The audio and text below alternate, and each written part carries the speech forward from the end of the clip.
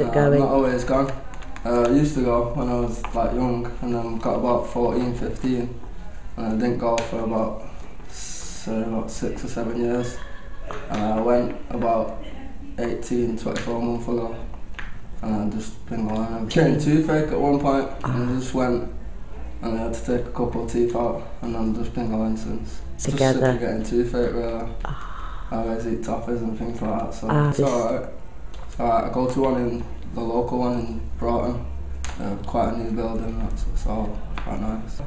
It's just uh, speaks and just says, you okay? And just general conversation. It's alright.